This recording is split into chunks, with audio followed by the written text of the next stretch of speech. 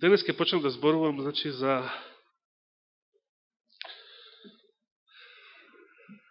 темата под наслов Ова Пасха. Не било која, туку ова Пасха. Зашто станува збор? Се секјавате Господ Исус кога веќе наближуваат деновите на неговото страдање, во една прилика им рекол на своите ученици, што? Многу сакав, вели, ова Пасха да ја јадам заедно со вас.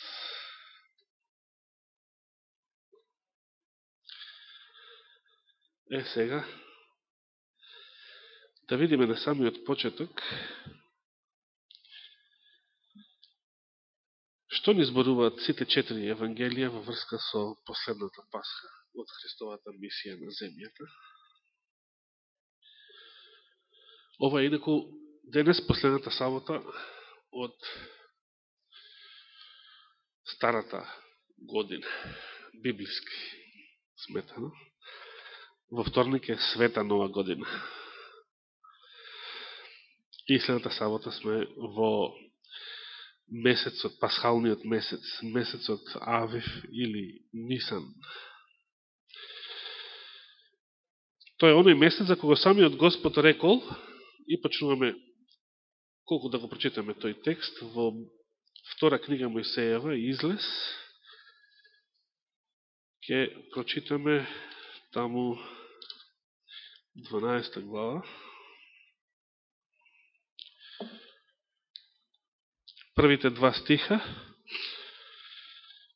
Излез или втора книга Мојсеева, 12 глава, први и втори стих. За празникот Пасха. И Господ им рече на Мојсей и на Арон во земјата египетска велејки. Овој месец да ви биде почеток на месеците да ви биде прв месец меѓу месеците во годината. Кој месец? Месецот во кој што израелците излегле од Египет. Месецот во кој што беше заклано пасхалното јагне. Месецот во кој што беше востановен празникот Пасха. Месецот во кој што Христос пострада за нашите гревови и воскресна од мртвите. Интересно. Дали евреите ја почнуваат годината во тој месец денес? Не. Евреите годината ја сметаат од есен. Од почетокот на седмиот месец, од празникот на трубите, кој што го нарекуваат Рош Хашана, нова година или почеток, или глава на годината за другите народи да не зборуваме. Не постои народ на земјата, не постои држава на земјата која што годината ја смета според овие господови зборови.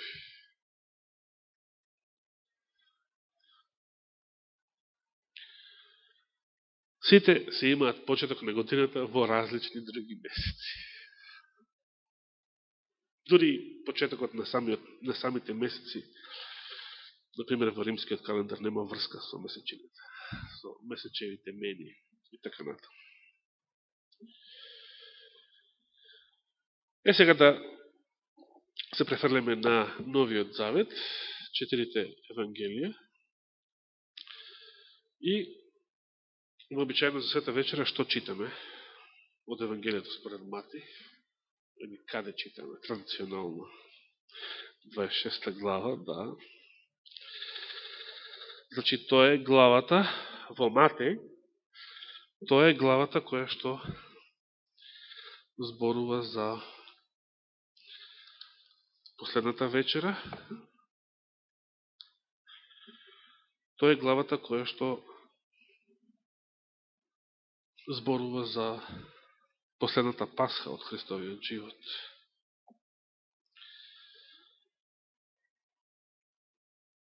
26 глава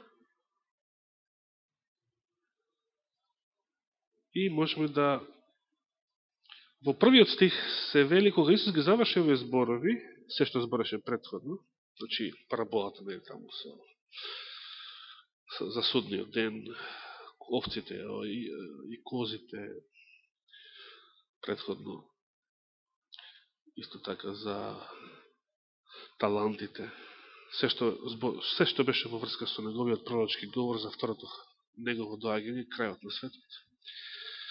Вели, кога ги заврши Исус овие зборови, им рече на учениците своји. Знаете дека по два дни ќе биде Пасха. Е сега, кога ги рекол овие зборови? По два дни ќе биде Пасха. Малко да се позанимаваме со календарот. Кога воопшто била Пасха? И потреба да се вратиме во излез. 14 ден од првиот месец.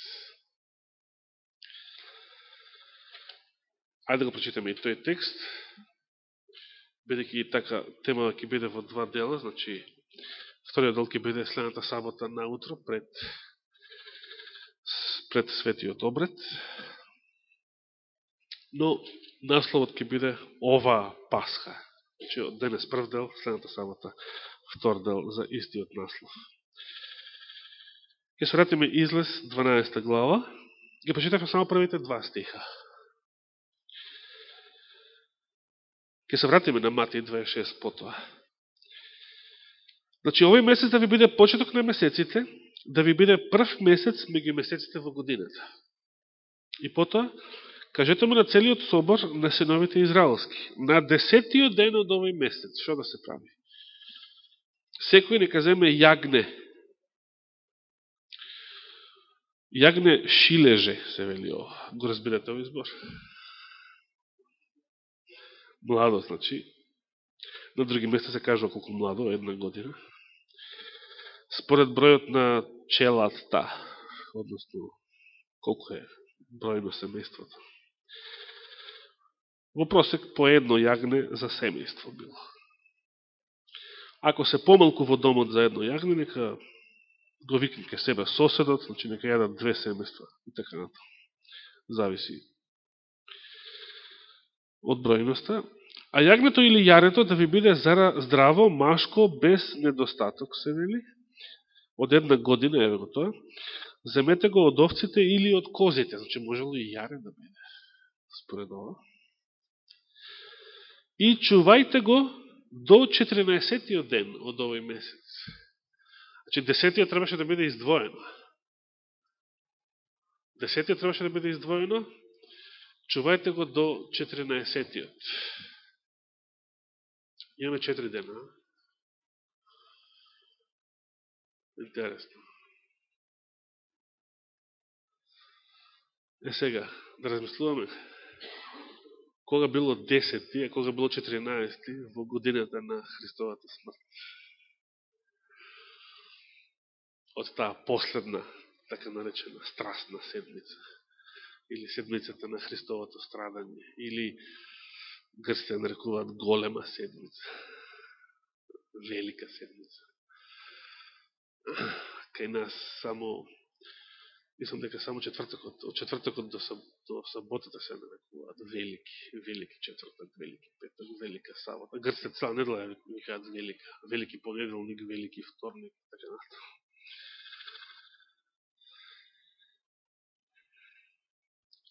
А што требало да се случи 14 ден? И тогаш, обштиот собор израелски нека го заколе во приквечерина И добро, понатаму знаеме што требало да прават со таа крв во годината од излегувањето од Египет. 14. ден. Било каде да читаме на друго место, еве да отвориме Левитска книга, 23 глава, каде што се наведени сите господови старозаветни празници. Трета книга Мојсеева или Левитска, 23 глава. Да видиме како таму е дефинирана Пасхата.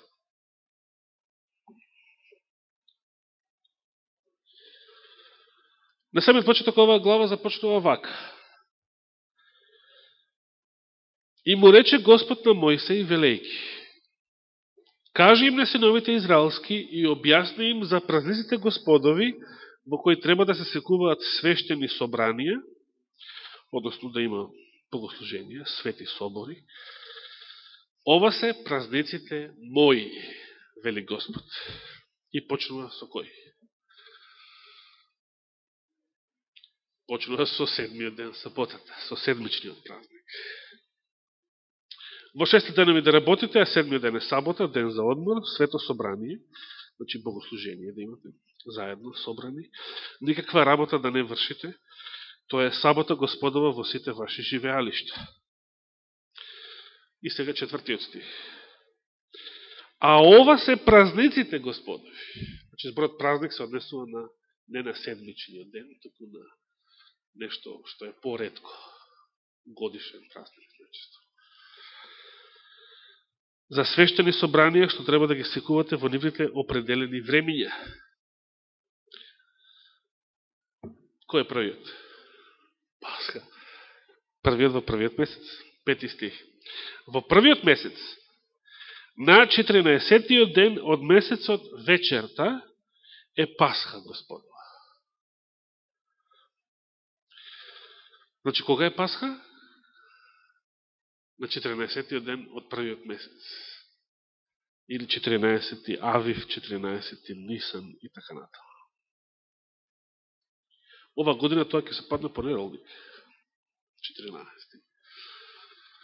Поточно, ако, ако сега во вторник е први, значи тоа ќе биде оне понеделник 10 април ќе биде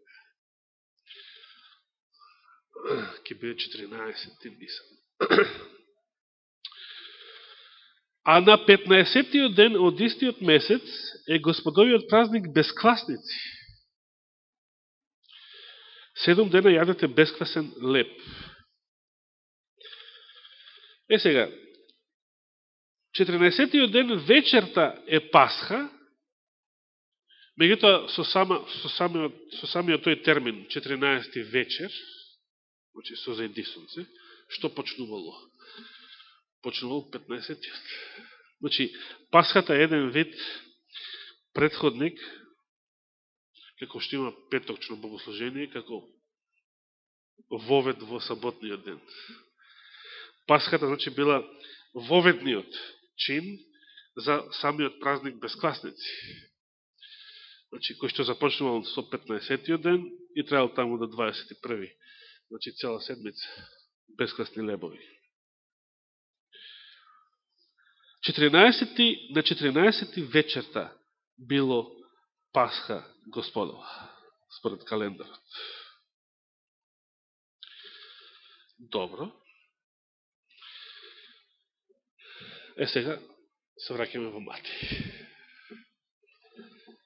Нема да има потреба повеќе да го цитираме законот, односно петокнижието за било што во врска со празникот. Матеј 26 глава. Кога Матеј вели, а знаеме дека тој своето евангелие го пишувал за еврејски читатели, претежно, изворно дори било напишено на арамејски јазик, иако тој арамејски оригинал не се сочува.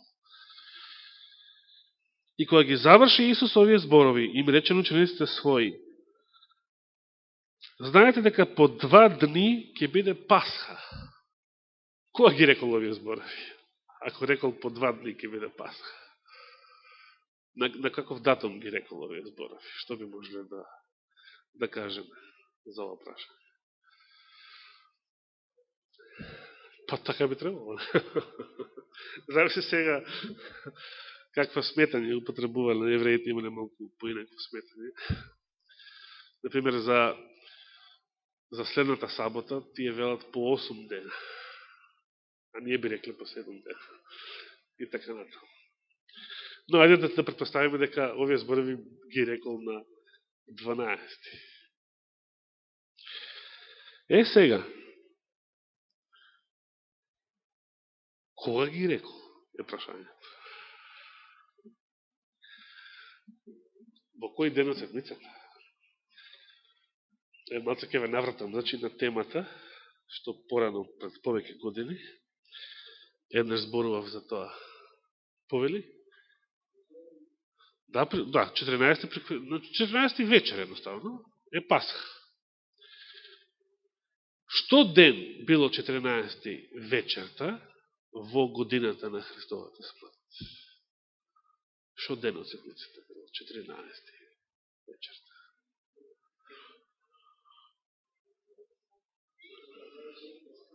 А, гледате, имаме проблеми сега. Што е точно, четвртак или петак? Ајде сега, ќе видиме што ни кажува Библијата, така? Ајде видиме што ни кажуваат Евангелијата. Дали тие може да ни дадат одговор на ова прашање?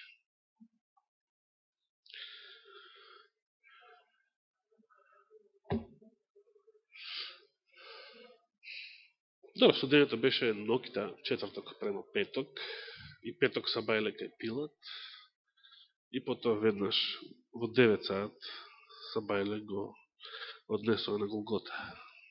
Го расправа на Голгота. Не, Исус рече по два дни е Пасха. Кога е таа Пасха? 14 на вечер. Според Библијата, така? 14 на вечер. Ете, да бев денес во Локве, немаше ова тема да ја да пости. Мегуто се, се створи малку простор, за да го разгледаме ова малку по, по-детално. Ајде видиме што ни кажуваат самите Евангелија по ова прашање. Ке се префрлиме на 17 стих. Кој 17? Ајде видиме. Да, има тука малку нешто збунувачко, затоа што Според оно што го почитавме во Стариот Завет, што би било прв ден на празникот без класници? Значи, ние што прочитавме во, во Левит, 23 глава? 14 вечерта е Пасха, а кога е без квасници? 15 е Безкласници и тогаш и тоа 15 е првиот ден од без квасници. Е сега, овде на вистина имаме збунувачки текст, затоа што 17 стих ни вели А во првиот ден на празникот без квасници, пристапија кон Исус учениците и му рекоа, каде сакаш да ти приготвиме да јадеш Пасха? Во кој ден од седмицата се случил овој разговор? Во кој ден од седмицата му пристапуваат учениците на Исус и му велат, каде сакаш да ти приготвиме да јадеш? Во четвртокот, точно. Кога Исус учениците ја имале последната вечера во, големата, во горната соба, во четвртокот вечерта. Дали четвртокот бил 15 Нисан? Не. Значи, 17 стих, како што рековте, е малко збунувачки, само затоа што во Христово време евреите поимот името безквасници го прошириле и го опфатиле со тоа 14-тиот ден исто. Значи, Пасха без фасти исто. Петок вечер и тој сабота исто. Како да речеме, како да речеме петок вечер и, и сабота са бајле, тие богослуженија се во изден се случуваат. Во сабота.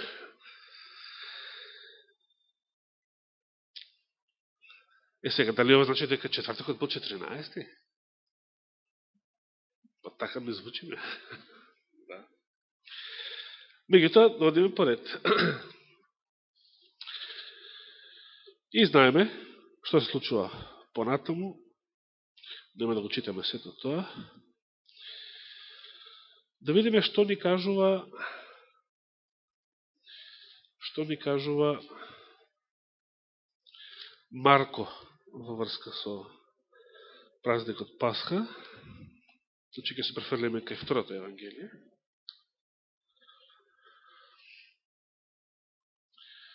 И одиме каде? 14 глава. Да, на, 13 глава е Марковата верзија на Христовиот пророчки говор. А 14 зборува за празникот и последната вечера. 14 глава од Марко, прв стих, почнуваме со првиот стих. По два дни, еве ги тие два дни повторно, значи, откако Христос го завршил својот пророчки говор, по два дни беше Пасха и празникот без класници. Еве гледате објаснување за збунувачкиот текст во Мати. Значи, споени во едно. А првосвещениците и книжниците сакаат да го фатат на измама и да го убијат, но велеа на празникот не, за да не стане бунт Да меѓу луѓето. Е, сега се префрламе на 12 стих.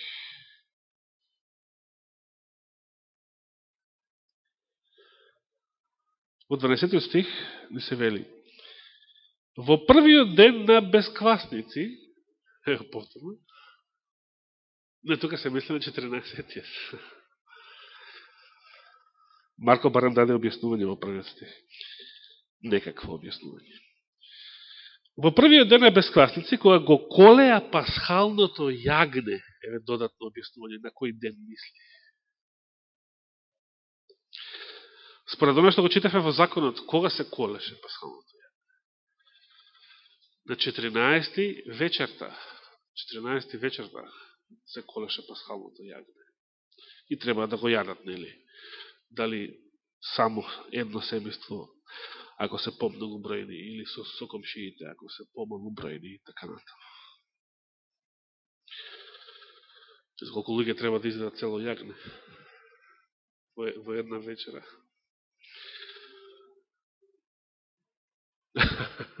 Малко е, Само ја и ти ке го изедем, а? Во ред.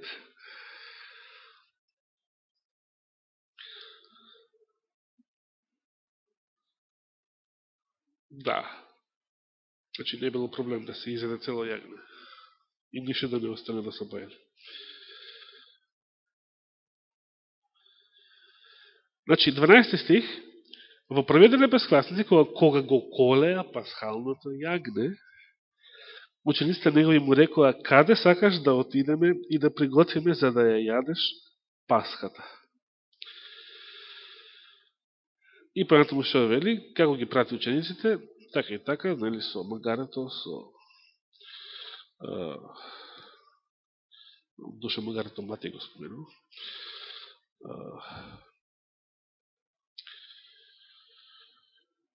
Па се опишува последната вечера. Значи, еве, 17 стих вели, а кога се стемни, тој дојде со 12. Значи, истата вечер. Значи, дента кога рекле, кога било првиот ден без квасници, кога го колеа пасхалното 14, истата вечер, кога се стемни, ја имаа последната вечер. Кој ден од седмицата било тоа? Четвртокот. Значи, досега и Мате и Марко се слагаат дека четвртокот бил 14 според еврејскиот календар. Ајде видиме што кажува Лука на истите тема. 22, да, 22 глава.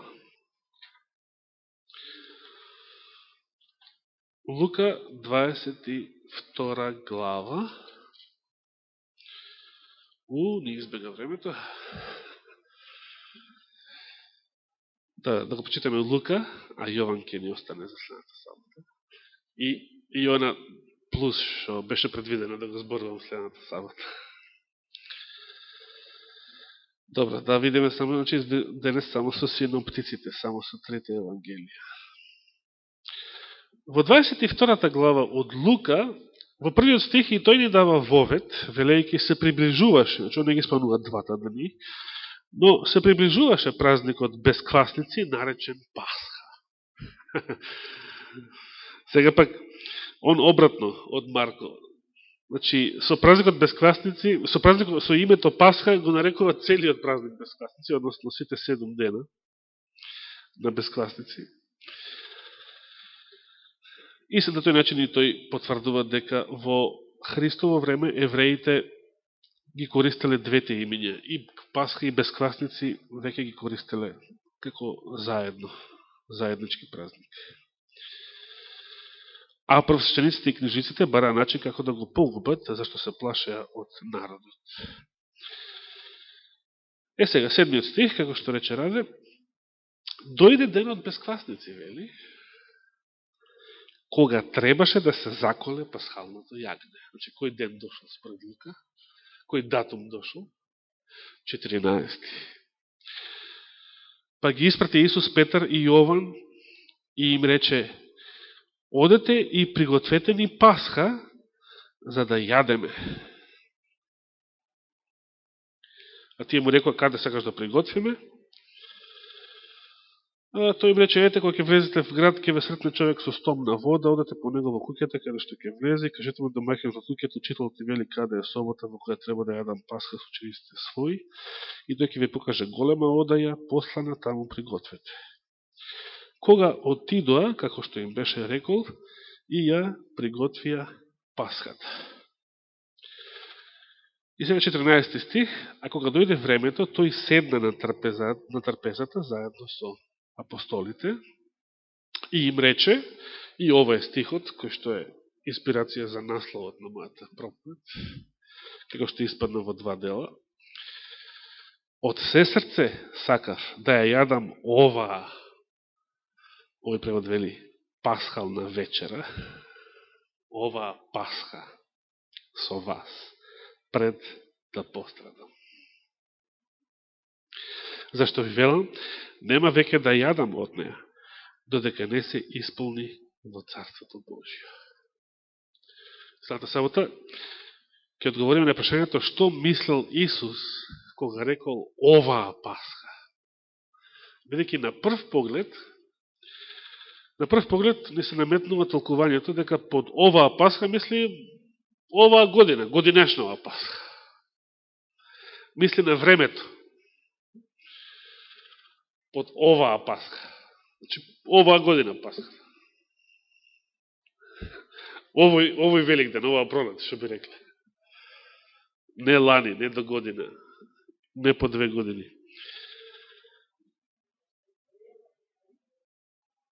Да, меѓутоа, следната сабота ќе видиме дека Исус не мислел на времето, оваа Пасха. Односно, не мислел само на годинашнава Пасха туку под оваа Пасха мисли и на нешто друго. Но за тоа повеќе следната сабота, предпладне. А одговорот на тоа што друго мисли е во 16 стих. Зашто ви велам, нема веќе да јадам од неа, додека не се исполни во Царството Божие. Што ќе се исполни во Царството Божие? Во Царството Божие нема се коли јагне, нема се лее крв. Значи, поимот оваа Пасха има и едно квалитативно значење, поинакво значење. Нешто друго од еврејската Пасха. Но за тоа повеќе тогаш, коречно само да одговорим на прашањето, според Лука, на кој датум се случила последната вечера? Значи, последната вечера сите евангелисти се согласуваат дека било четврток на вечер, според наши, нашите називи на седмичните денови. Распетието било во петок. Но, што датум било тој четврток? Кога и Лука се согласува со Марко вели, кога како вели во седмиот стих што учитавме, кога требаше да се заколе Пасхалната јако. 14. Чи, до сега трите Евангелија се согласни дека четвртокот бил 14. Дали Јован се согласува со нив? Тоа прашање ќе остане за следната сабота.